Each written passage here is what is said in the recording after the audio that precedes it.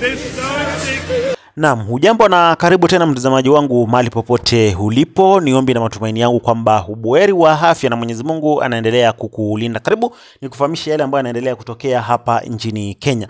Mtazamaji, kuna hii video ambayo nataka nikuchezee, video ambayo ina trend tena zaidi hapa nchini Kenya, video ambayo inamuonesha Pastor Ben In akimrusha ama akimsukuma na kumrusha Pastor Ezekiel Odero na kuweza kumwangusha chini.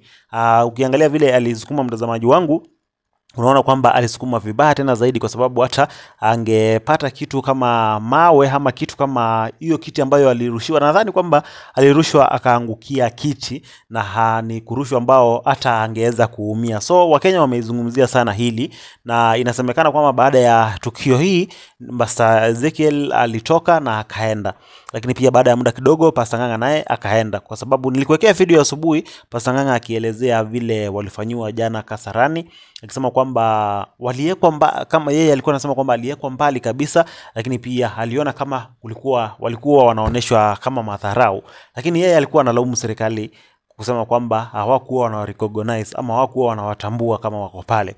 So mtazamaji wangu, hii video ya Pastor Ezekiel ina trend sana, unaonekana kwamba anaonyeshwa ama unaona Pastor Ben In akimrusha na nguvu tena zaidi, kiasi ya kwamba hata angeweza kuumia ama hata angeweza kuanguka vibaya na aweze kuumia. So Wakenya wanazungumza maneno tofauti tofauti katika mitandao ya kijamii. Kuna uh, hapo chini katika sehemu ya comment section pia nataka uniambie maoni yako. Unadhani ni maombi tu ya kawaida ama kulikuwa na tatizo lingine ambalo ama kulikuwa pengine na tofauti kati ya pasta Benin na pasta Ezekiel Odero, kwa sababu Wakenya wamezungumza maneno mengi. Nataka nikuchezee hiyo video uone vile mambo yalifanyika na uone vile ilianzia mpaka ikafikia mahali Pastor Ezekiel anasukuma na kuanguka vibaya tena zaidi. Kidogo tu kabla sijakuchezea hiyo video na kuomba utazame hii. Maji, nataka nichukue nafasi hii kuwashukuru wale wote ambao walimchangia Joshua. Joshua tayari ameweza kuingia form 1 kama vile unaona hapo, na tayari ameweza kujiunga na form 1 baada ya kukaa nje kwa miaka mbili, na hii yote ni kwa hisani ya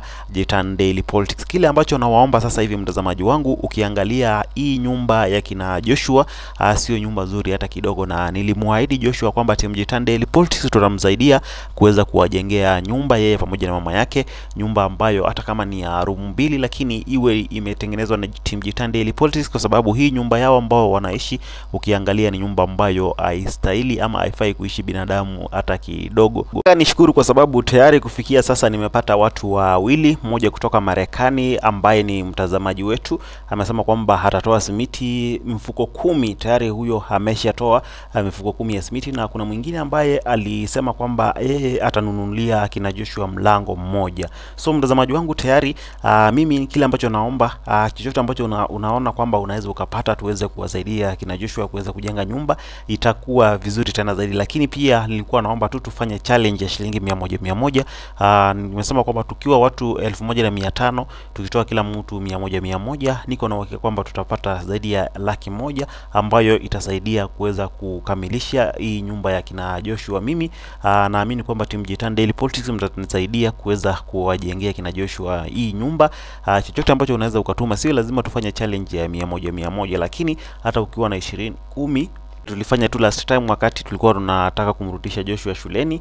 Ukiwa na ishirini, kumi, mia, elfu, elfu moja, elfu tano, uh, chochote kile ambacho unaweza ukafata, uh, niko na uhakika kwamba tutasaidiana kuweza kuwajengea kina Joshua nyumba hata kama ni ya rumu mbili, na Mwenyezi Mungu atazidi kukubariki tena zaidi, kwa sababu ukiangalia hiyo nyumba ambayo wanaishi, mtazamaji wangu, sio nyumba ambayo uh, binadamu anaweza akaishi. Inakaa vibaya tu, lakini ni kwa sababu hawana uwezo, ndio maana uh, wameamua tu kuishi kwa hiyo nyumba. Niko nimempata tayari uh, um, simiti na mlango mmoja, so mtu yote ambaye anaweza akatusaidia kununua chochote kile, dirisha iwe ni zile box za kujenga, chochote ambacho unaweza ukapata, mtazamaji wangu, mimi nitashukuru tena zaidi, na Mwenyezi Mungu atazidi kubariki tena zaidi kwa kuweza kusimama na familia ya Joshua, na naamini kwamba timu Jitan Daily Politics tutafanikisha hizi, na Mwenyezi Mungu atazidi kukubariki tena zaidi.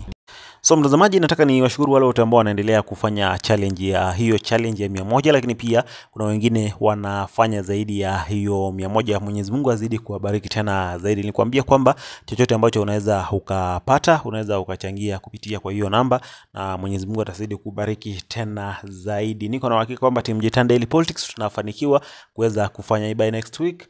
Uh, na niko na uhakika kwamba tutakuwa tumemalizia malizia, tutakuwa tunafanya finishing na Mwenyezi Mungu atazidi kubariki tena zaidi na kukuongezea tena zaidi. Tukirudi upande mwingine, nataka sasa nikuchezee hiyo video kabla sijaendelea kuzungumza sana, uone vile mambo yalifanyika, halafu tuendelee kuzungumza zaidi.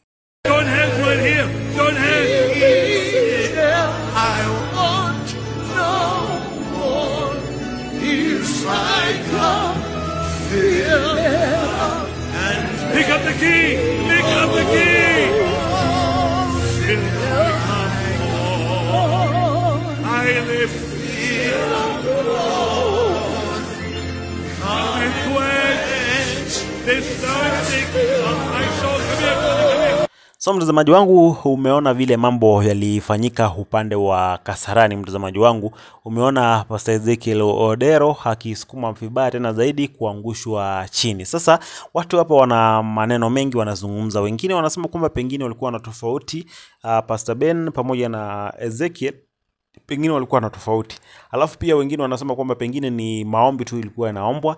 Alafu pia wengine wanasema kwamba pengine uh, Benin alikuwa anataka kuonesha kwamba yeye ndio ako na nguvu, anaweza kumwangusha mpaka Pastor Ezekiel Odero. Unaona mtazamaji wangu? So hiyo nimekuachia wewe uniambie hapo chini katika sehemu ya comment section. Nani wa kumlaumu hapa? Pastor Ben Ini alifanya makosa kumsukuma Pastor Ezekiel ama ni maombi tu ilikuwa inaendelea? Kwa sababu uh, nimekuambia kwamba ukiangalia vile alirushwa hajarushwa vizuri. Nimeona watu wengi wamecomment, ukiangalia hiyo video katika sehemu ya comment section, watu wengi wamecomment wakisema kwamba hapana, hapo haikuwa vizuri, kwa sababu alirushwa vile anaweza akaanguka akaweza kuumia.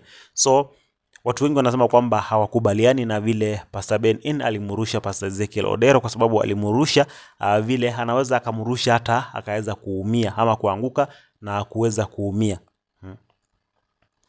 So watu wengi wanasema kwamba hangefaa kumrusha Pastor Ezekiel vile alimrusha, lakini hatujui tatizo lilikuwa nini.